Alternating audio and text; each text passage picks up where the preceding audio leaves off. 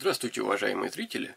Это видео будет небольшим дополнением к позапрошлому видео, где я рассказывал про режимы энергосбережения.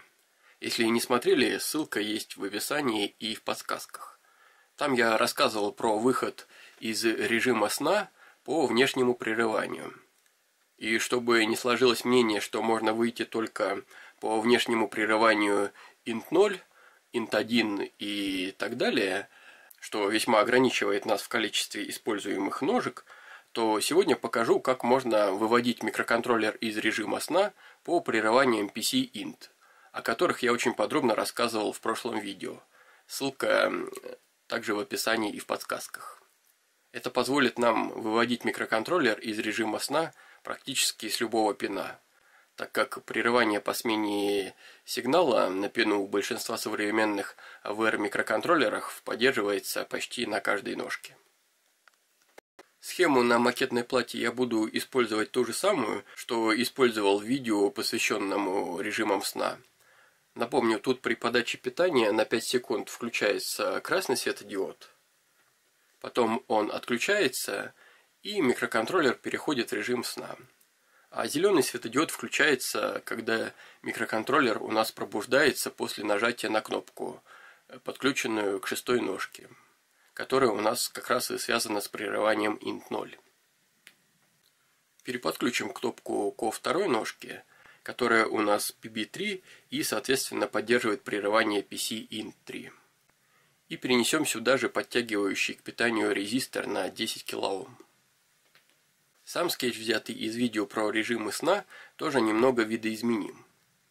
Настройку режима сна оставляем как есть, а ниже вместо разрешения работы прерывания int0 разрешаем прерывание PC-int.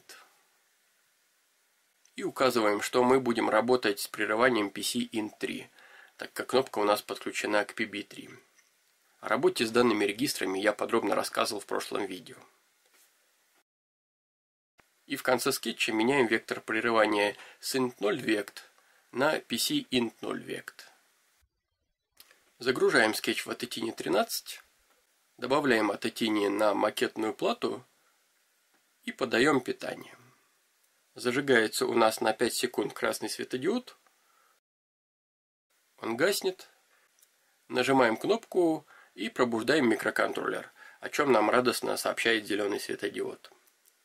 Выполняется у нас некоторое действие, и микроконтроллер снова погружается в сон до следующего нажатия кнопки или вместо кнопки получения сигнала от какого-либо датчика. Также мы можем добавить к схеме еще одну кнопку, подключим ее к третьей ножке микроконтроллера. Это у нас порт PB4. Добавим к скетчу возможность работы с прерыванием PC-int 4. Загружаем скетч, устанавливаем микроконтроллер и также подаем питание. У нас опять же вначале включается красный светодиод. И далее мы можем пробуждать микроконтроллер любой из кнопок, левой или правой. Результат одинаков. В обоих случаях на 5 секунд включается зеленый светодиод и он гаснет. А уже в коде скетча мы можем определять, какая кнопка была нажата и выполнять разные инструкции, как я показывал в прошлом видео. Спасибо за просмотр, подписывайтесь на канал и до встречи в новом видео.